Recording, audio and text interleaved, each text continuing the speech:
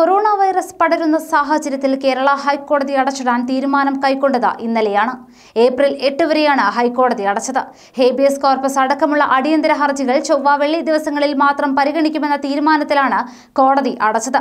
മുൻകരുതൽ നടപടികളുടെ ഭാഗമായി തന്നെ കോടതികളിൽ ആൾക്കൂട്ടം ഒഴിവാക്കണമെന്ന നിർദ്ദേശം നൽകിയിരുന്നു. അത്യാവശ്യമുള്ള ആളുകളും അഭിഭാഷകരും മാത്രമേ ഹാജരാകാവൂ എന്നായിരുന്നു നിർദ്ദേശം. ജീവനക്കാരെ അല്ലാതെ ആരെയും അകത്തേക്ക് പ്രവേശിപ്പിച്ചിരുന്നതുമില്ല. തിങ്കളാഴ്ച രാവിലെ അഡ്വക്കേറ്റ് ജനറലും അഡ്വക്കേറ്റ്സ് അസോസിയേഷനും ഭാരവാഹികളും ഉൾപ്പെടെ ചീഫ് ജസ്റ്റിസിനെ നേരിട്ട് കണ്ട ഹൈക്കോടതി അടച്ചിടുന്നതും ഉചിതം എന്ന മുഖ്യമന്ത്രി പിണറായി വിജയന്റെ സന്ദേശം കൈമാറിയിരുന്നു. ഇതിന് പിന്നാലെയാണ് ഹൈക്കോടതി താൽക്കാലികമായി അടച്ചത് എന്നാണ് പുറത്തുവന്ന വിവരം.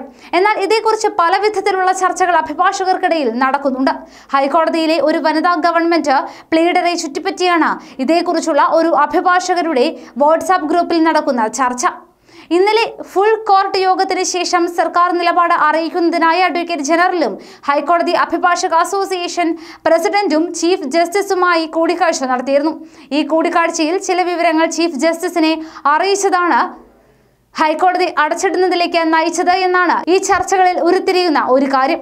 എന്തായാലും കോവിഡ് ഭീതിയുടെ പശ്ചാത്തലത്തിൽ കോടതി അടച്ചിടാൻ നിർദ്ദേശിച്ച സുപ്രീം കോടതി ചീഫ് ജസ്റ്റിസിന്റെ നിലപാടിന് എല്ലാവരും കൈയടിക്കുന്നുമുണ്ട്. വാട്സാപ്പ് ഗ്രൂപ്പുകളിൽ നടക്കുന്ന ചർച്ചകൾ ഇങ്ങനെയാണ്. ഹൈക്കോടതിയിലെ ഒരു വനിതാ ഗവൺമെന്റ് പ്ലീഡറുടെ മകൾ യു കെയിൽ നിന്നും കൊച്ചിയിലെത്തിയത് ഏതാനും ദിവസങ്ങൾക്ക് മുൻപായിരുന്നു. ഇവർക്ക് കോവിഡ് പരിശോധന നടത്തിയിരുന്നു. ഈ റിപ്പോർട്ടിനായി ആളുകൾ കാത്തിരിക്കുകയുമായിരുന്നു. ഇന്നലെ മകളുടെ പരിശോധനാ റിപ്പോർട്ട് പോസിറ്റീവായി. ഇതോടെ ഈ വിവരം എറണാകുളം ജില്ലാ ഭരണകൂടം ചീഫ് ജസ്റ്റിസിനെ അറിയിക്കുകയായിരുന്നു.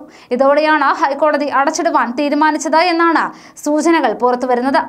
ഇക്കഴിഞ്ഞ മാർച്ച് എട്ടിനാണ് ഗവൺമെന്റ് പ്ലീഡറുടെ മകൾ യു കെയിൽ നിന്നും എത്തിയത്. അന്ന് മുതൽ ഇരുപത്തിയൊന്ന് വരെ എസ് ഓഫീസിൽ പ്ലീഡർ ജോലിക്ക് എത്തിയിരുന്നു. നിരവധി പേരുമായി ഇടപഴകുകയും ചെയ്തു. മകൾ യു കെയിൽ നിന്നും വന്ന കാര്യമോ ക്വാറന്റൈൻ ചെയ്ത വിവരമോ അവർ ആരോടും പറഞ്ഞതുമില്ല. മകൾ കൊച്ചിയിൽ ക്വാറന്റൈനിൽ ആയിരുന്നു. ഈ സംഭവം പുറത്തായതോടെ അഭിഭാഷകർക്കിടയിലും പല വിധത്തിലുള്ള ചർച്ചകളും ആശങ്കയുമായി. ഇതോടെ ചില അഭിഭാഷകർ കാര്യം പുറത്തു പറയാതെ സോഷ്യൽ മീഡിയയിൽ പോസ്റ്റുമിട്ടു ഗവൺമെന്റ് പ്ലീഡറുമായി ഇടപഴകിയവരിൽ ഇടപഴകിയവരിലും സംശയമായി. അതേസമയം എയർപോർട്ടിൽ നിന്നും എത്തിയ കുട്ടിയെ നേരെ ഹോസ്പിറ്റലിലേക്ക് കൊണ്ടുപോവുകയായിരുന്നു എന്നാണ് ലഭിക്കുന്ന വിവരവും. ഗവൺമെന്റ് പ്ലീഡറുമായി സമ്പർക്കത്തിൽ ഏർപ്പെടുകയും ചെയ്തിരുന്നില്ല. ക്വാറന്റൈൻ നടപടി കൃത്യമായി പാലിക്കുകയും ചെയ്തു. അതുകൊണ്ട് തന്നെ ഭയപ്പെടാനില്ല എങ്കിലും സമാനമായ റിസ്ക് സാഹചര്യം കൂടുതൽ ഉണ്ടാകുമെന്ന ആശങ്കയാണ് ഹൈക്കോടതിയിൽ ചർച്ചയായത്. അതുകൊണ്ട് തന്നെ സംസ്ഥാനം ലോക്ക്ഡൌൺ പ്രഖ്യാപിക്കും മുൻപ് ഹൈക്കോടതിയെ അടച്ചിടാൻ തീരുമാനം കൈക്കൊള്ളുകയായിരുന്നു.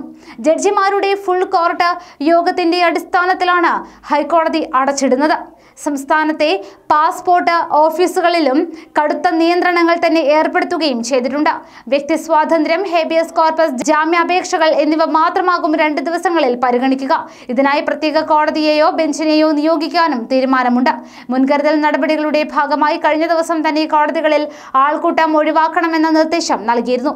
അത്യാവശ്യമുള്ള ആളുകളും അഭിഭാഷകരും മാത്രമേ ഹാജരാകാവൂ എന്നായിരുന്നു നിർദ്ദേശം. ജീവനക്കാരെ അല്ലാതെ ആരെയും അകത്തേക്ക് പ്രവേശിപ്പിച്ചിരുന്നതുമില്ല.